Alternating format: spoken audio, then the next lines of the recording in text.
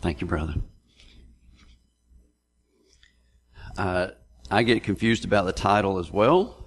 All y'all need to know is that I work with Monica Thompson. And everybody started praying, Oh, Monica, stop clapping for yourself. Sheesh. I, huh. Let me tell the story then. So, we're going to have, uh, last night we were planning to do the Lord's Supper. And by the way, when Jonathan said we had an hour invitation, don't be afraid. Because I'm, I'm sure that kind of sucked the wind right out of the room. We're going to have an hour long invitation this morning. I've got a crock pot going.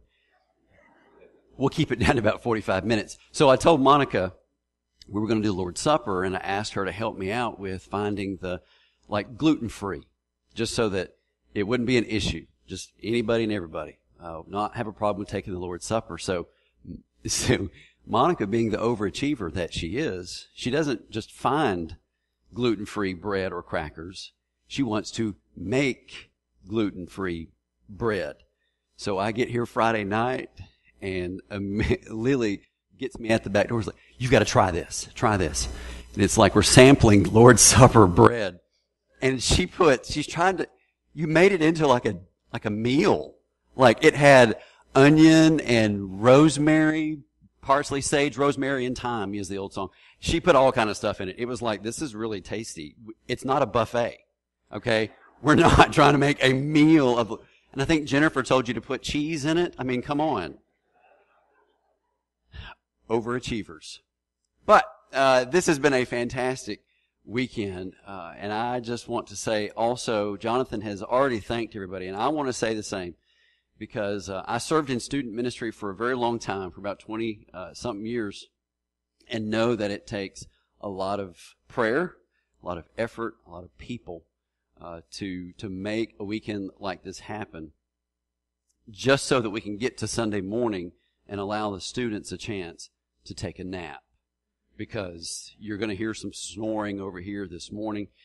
But uh, I will say that last night the whole weekend has been really good and, and it's been all about unity as, as you've seen. And so last night to see students, to see young people, when, when the, when the call is given to respond to the Word of God, and, and you see that the altar is full of students and adults praying over the students.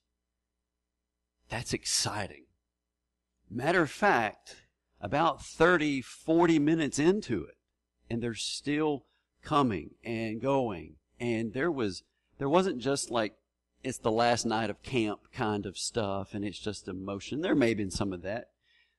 But when there's weeping at the altar, and then they take it back to their seat and there's weeping at the seats. Church, be encouraged. This generation is getting it. And they need you to keep fanning that into flame. Because they're watching you. They're watching us to see what does this life look like when we surrender our lives to Christ. And so, for the weekend, the theme has been unity. And I know I've been in church long enough, I'm old enough to remember what it's like to have different generations fighting or arguing or that's not my style of music. That's not my thing. That's not, that's just, you're reaching this age group and you're forgetting us. We're in this thing together. I love the fact that we're singing Jesus paid it all and we're singing some new stuff that I haven't even heard, but just maybe a month ago. And we're singing Hank Williams. I saw the light. How awesome is that? You know? Of course, we are still in Wetumpka, right? Roll Tide. There you go. Work that in there. Giddy up. That's right. It takes all of us together doing this. Because God has called us to a very unique life. Matter of fact, it's a special life. It is full and abundant life. And we're supposed to be able to look at each other, be encouraged, be challenged, be held accountable and that's the body of believers that are in this room. And I wish everybody could have experienced this entire weekend. especially last night. But to the students, let me say, whatever happened last night, whatever the Lord has been doing in your life last night, it better not stop last night. It better not stop today. Because tomorrow, when you go back to work or school or the practice field or wherever you're headed, that's when we'll see if last night was just emotion or was it true? Was it real? So we're pulling for you. Church, can we say that we are praying for our students? Because y'all know, we know that what it is like to be a teenager, a young adult trying to figure out life and figure out the patterns and figure out the crossroads and figure out everything else in light of the gospel, in light of trying to figure out a career and all these decisions. Do I go to college? Do I not? What do I study? What kind of job do I go for? A lot of us have been there. And so we're praying for you. So this morning, part of what they've been studying, we all get to be a part of this together, and it is the call of the Christian life. And what does that mean? What does that look like for all of us together? And there's something that, that Peter talks about in 2 Peter that to me, it's almost like he's helping us gauge are we being effective or are we not? Because as we are together in this call, to be God's ambassador, to be God's representative in this world, we want to be effective, right? Like it doesn't matter what your job title is. Every person, I would say every single person in this room wants to be effective at whatever their job is. If your job is to make gluten-free Lord's Supper bread, you want to be effective at it, right? You want to make sure that recipe is just right. Nobody in here wants to be useless. Can we agree on that? Let me look at the students just to make sure no one raised their hand. Anybody want to be useless? There's always one in every crowd. Okay, just check.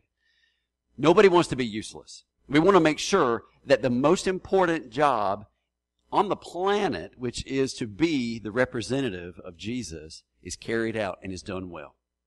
We want to make sure that we're effective in this call.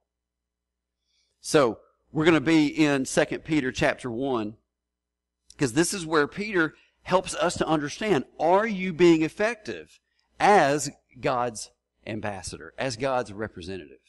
So 2 Peter chapter 1, we're going to be in verses 3 through 15. And let me tell you real quick while you're turning there, here's how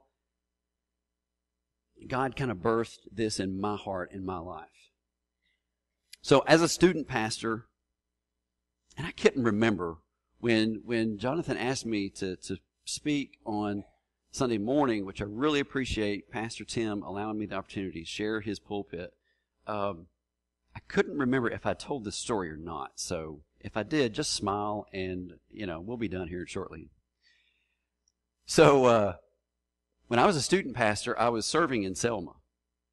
My third church was First Baptist Selma, Alabama. And most of y'all know Selma, right? Like some places in the state where I get to go and, and, and help with people, they don't know Selma. They don't know all that is Selma, right? You got to say it Selma. So we were downtown Selma. Our church was in the heartbeat of downtown. It was the one that looks like the big cathedral, the Catholic looking building, had gargoyles on the bell tower, that whole thing going on. And so, matter of fact, someone told me when I came on staff there, they said, if you can survive this church, you can survive anywhere. I'm like, well, dang, Gina, nobody told me that when I signed up for this job. It wasn't in the brochure. So I get there, and they're like showing me around, and you talk about uh, an ornate type setting. Their sanctuary is like a museum. It is absolutely beautiful. And two of the pieces, just real quick, you, there was a, a, mosaic over here and a stained glass window above the baptistry, and they said those two. There was a, a local artist who grew up in Selma, and in 1904 or 03, she moved to New York City, and she trained under the Tiffany Glass Company. And she came home and was commissioned by the church to do these two pieces. They said these are Tiffany originals, and they can't even get insurance on them. And I'm like, don't tell me that. We're going to play hide and go seek in this building, right? That is insane. So that's just kind of the, the setting for this. And while I was there, I was still, I was in my late 20s, early 30s, and I was still wrestling with what is this ministry all about? What are we supposed to be doing? And, and I was still full of pride, working on building my own name. And I come across Matthew chapter 23, where Jesus is speaking to the Pharisees. And as he's talking to the Pharisees, y'all know the Pharisees were the religious leaders who pretty much, they were the hired holy men. They had it all figured out. They had it going on. And Jesus just dogged them. He said, you guys have completely missed the mark. Because you're straining gnats. So they would literally strain gnats out of their drinking water, but they would swallow the camel. He said, you guys are like whitewashed tombs. You're beautiful on the outside, but you're full of death and decay on the inside. You've missed the mark. And here's what got me. Because I realized something about the Pharisees. The Pharisees thought they had it right.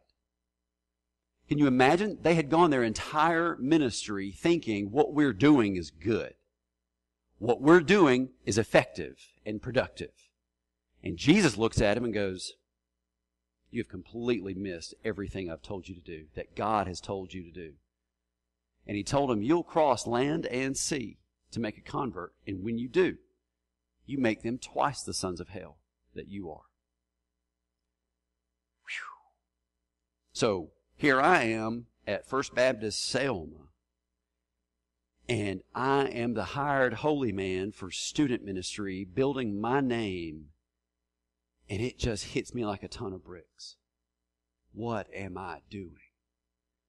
And so I asked the Lord this one simple question if you were to walk into this beautiful building right now, and we start talking about ministry, where would you point in my life where I'm missing the mark? And without a doubt, there were two main issues the Holy Spirit began to deal with me about.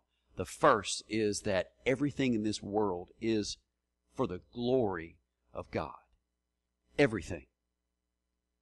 And the second thing is where we're going to camp out. Everything you do in ministry is supposed to be making disciples, not developing programs. Because that's kind of what I was doing. I was working on programs in the church, keeping our people busy. Because we were doing youth stuff constantly. We were doing the, the lock-ins, lockouts, bowling, Bible studies, mission trips, and this camp and that thing. And what's the point of it all? Is to make disciples. And so I just began focusing on that. And I just began asking the Lord, would you please then help me understand?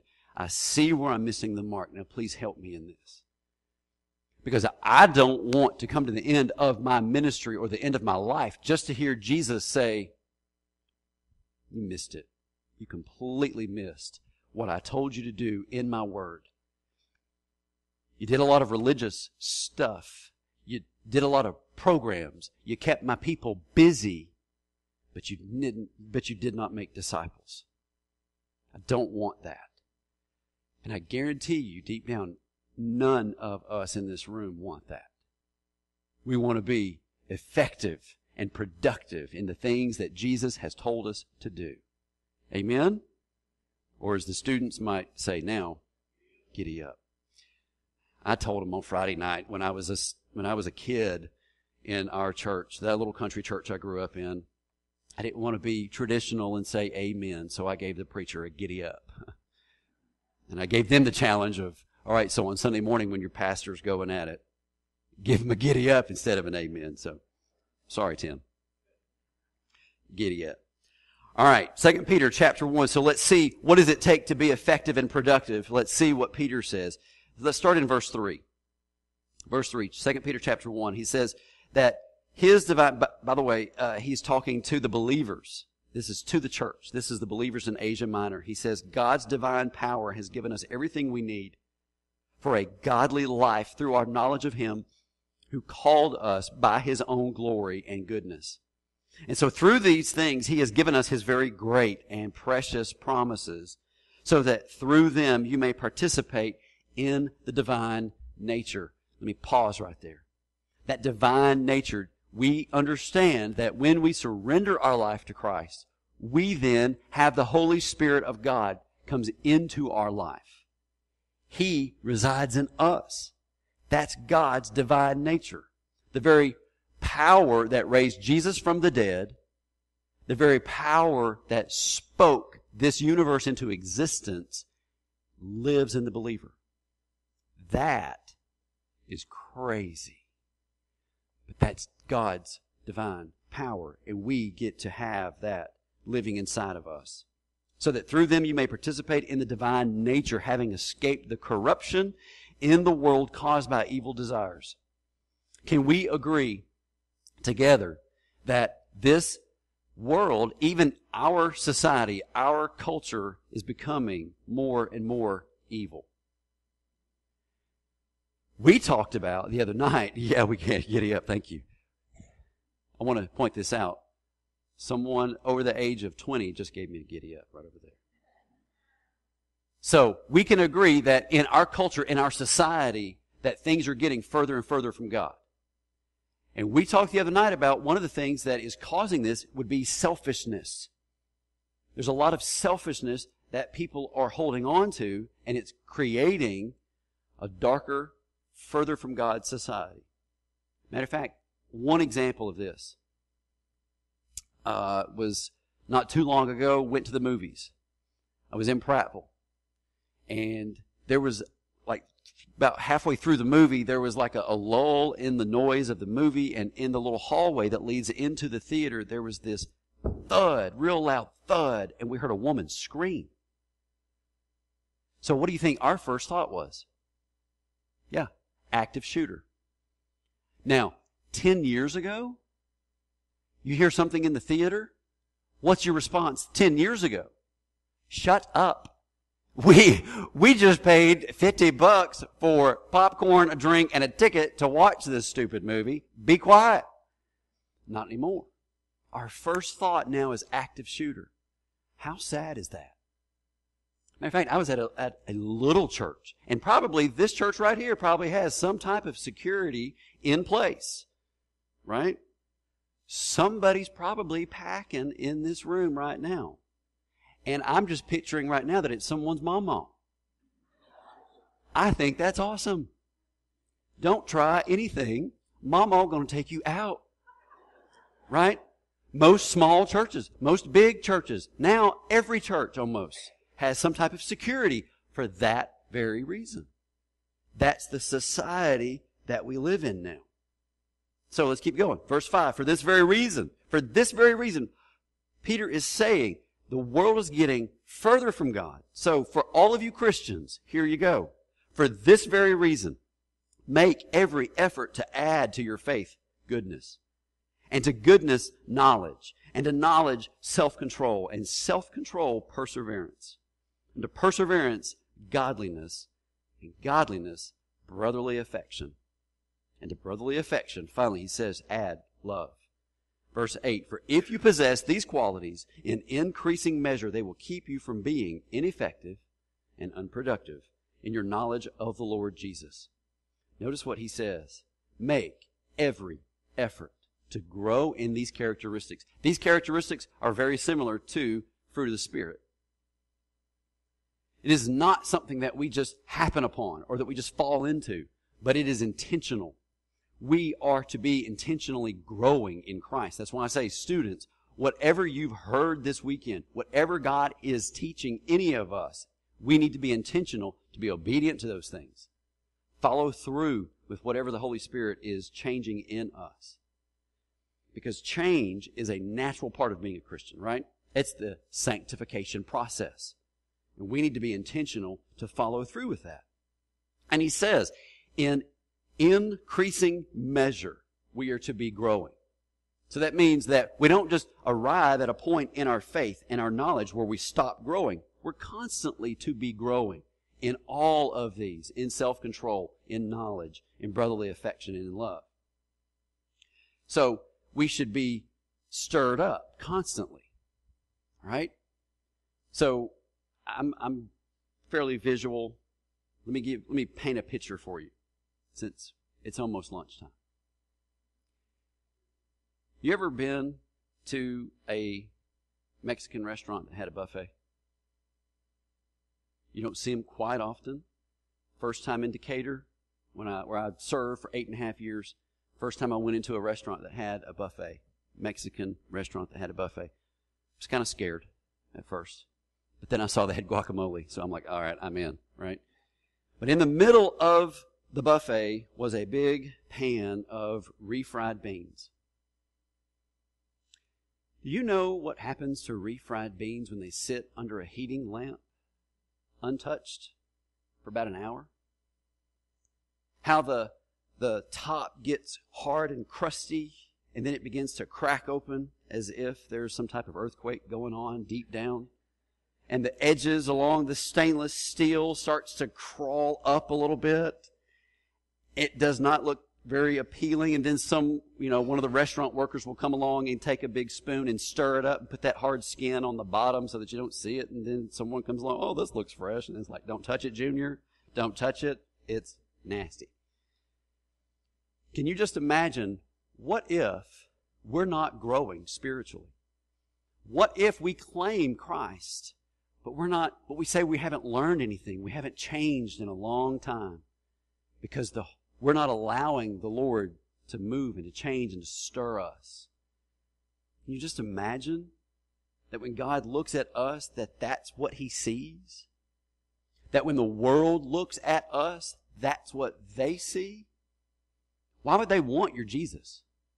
When we're the ones, if we're not growing, if we're not making every effort to grow in the characteristics of the Holy Spirit, why would they look at us and go, no, that's what I want? I didn't look at that buffet and look at that big vat of hard crust and go, no, that's what I want right there. That looks awesome. No, kept moving.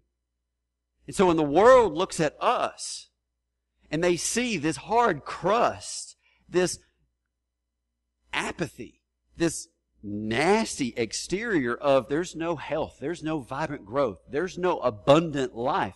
Next. I'm going to move on. If that's the Jesus you serve, I really don't want any part of that. Y'all see what I'm saying? Like the Holy Spirit should be stirring us because we are to be growing in the image of Christ. 2 Corinthians 3:18. We are being made into the very image of Jesus. I don't know about you. I'll admit I've got a long way to go. I need to be hearing from the Lord and obeying the Lord on a consistent basis, and I need my heart stirred. To ensure that this goes on, there's two questions that I regularly ask of myself and of the people that I'm discipling. Two questions. Number one, what has God taught you lately? What has God taught you recently? Because if my answer, if I have to answer this and go back more than a month, something's wrong with my relationship with the Lord. If you haven't heard from the Lord in a while, then there's some type of a wall or barrier between you and Him. You need to work on that. So the first question, what has God taught you lately? And second, what are you doing about that? Because when you hear from the Lord, usually there's change that he's calling for. Whether it's growth, change, repent, stop, start, whatever it is, there's something that he's telling us to do.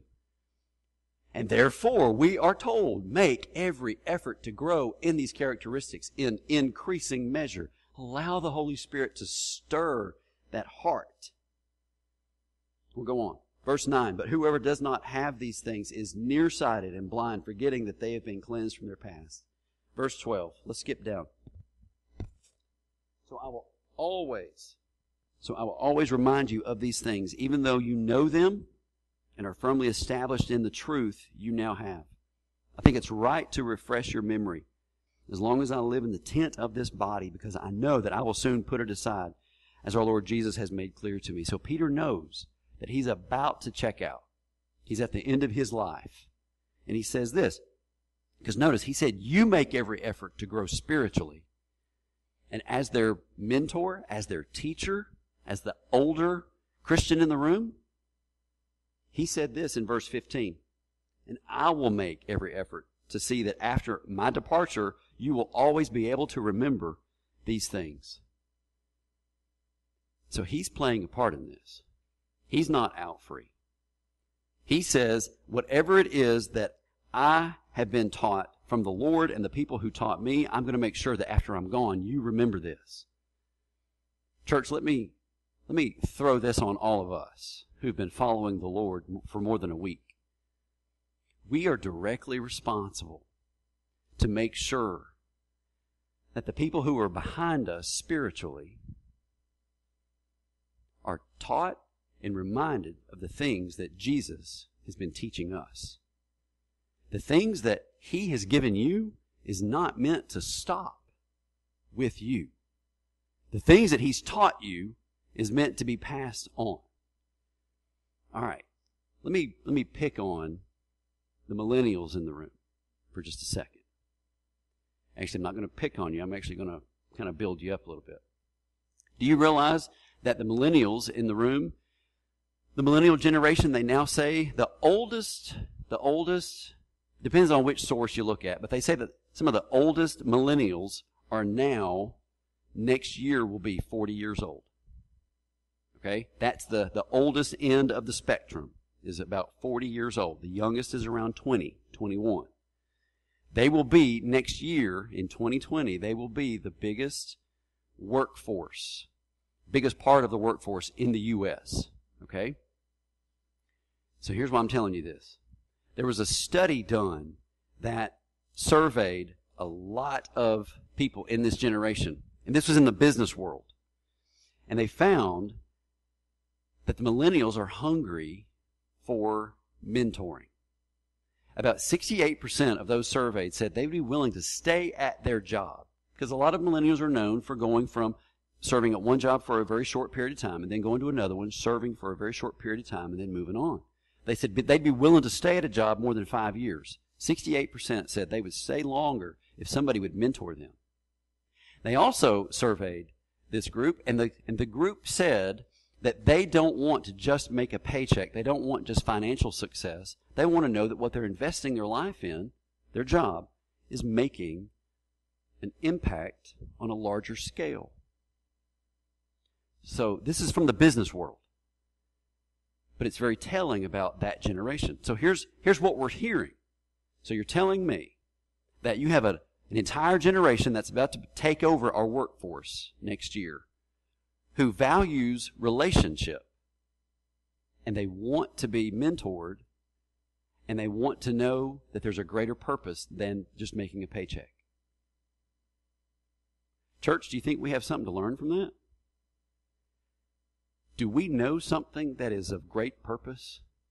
You better believe it.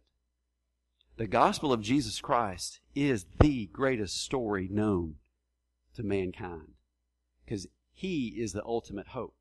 So here's my challenge. If you are over the age of 40, and if you've been following Jesus for any amount of time, here's a side challenge to you. Take a millennial to lunch. Hear their story. Hear their questions, their thoughts, their doubts, their victories, their plans and share yours. Share your story. Share your Jesus journey with them. Because they want to know. Who doesn't want to know that? Not just the millennials. Maybe we should make that a national holiday. Take a millennial to lunch day. How great would that be? And all the millennials in the room said, Giddy up. I'm still not used to that. Matter of fact, let me, let me, let me tell you this. As far as students, this generation, the students' generation, is called Generation Z. Sorry, guys, y'all got stuck with Z. Uh, mine is X. I mean, that's not much better. So, Generation Z, they say, uh, what was the percentage? Between the ages of 13 to 18, when Generation Z has three to five adults investing in them while in church, Okay, this is in the church world. They are much more likely to continue in their faith in college. Three to five adults investing in students will almost, not everything's a guarantee, but that will almost ensure that they will continue in their faith when they go off to college and they begin their own journey, their family journey, and their career journey. I encourage you. Look, Jonathan and his team, they're working hard to invest in these students, but they can't do it alone. And I say that as a former student pastor. If you want to make sure that these students, when they go off to college or they begin their careers, that they continue in the faith and the things that you all have been teaching them now, invest in them. Pray for them and invest in them. Three to five adults between when they're 13 to 18. And I can tell you that that is absolutely true because the other day I had a couple of my students, former students who are now in ministry, they were referring back to when they were in eighth grade. There was one of our volunteers in our student ministry. His name was Mark. And Mark would meet with the eighth grade boys on Friday morning at the horse stables in our town, and they would do Bible study. Now that's just sketchy, right? Who in the world is going to meet with eighth grade boys when there's anywhere near manure? Mark. And you know what? Now these guys are in their 20s. They're serving churches and they name him when they talk about people who have made a difference in their life.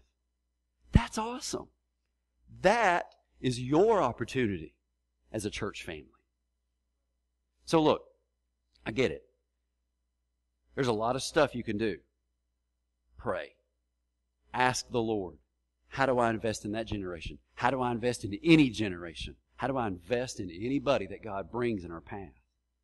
We've been told Jesus clearly laid this out for us. If you want to make sure you're effective and productive, then do what Jesus said to do in Matthew 28, 18 through 20, when he clearly said, He has every ounce of authority in heaven and on earth. And so here's what I'm telling you to do, guys.